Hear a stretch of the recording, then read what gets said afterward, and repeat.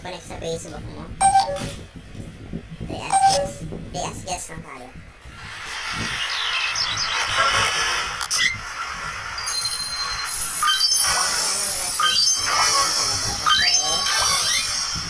Thank.